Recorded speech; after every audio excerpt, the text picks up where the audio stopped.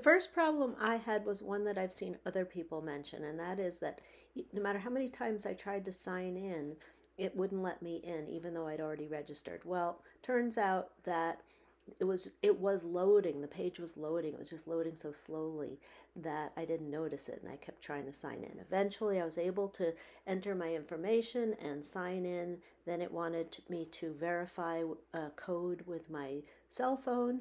I did that and voila i got in okay there's probably bugs all over this website but here's one i found for signing in and it's pretty frustrating. I hope they fix it quickly. No matter how many times you check uh, when you sign in to remember you on this device, it's going to ask for you to verify yourself. So even though I've checked do not challenge me on this device again, it's going to next time I log in, like I'm trying now, it's going to ask.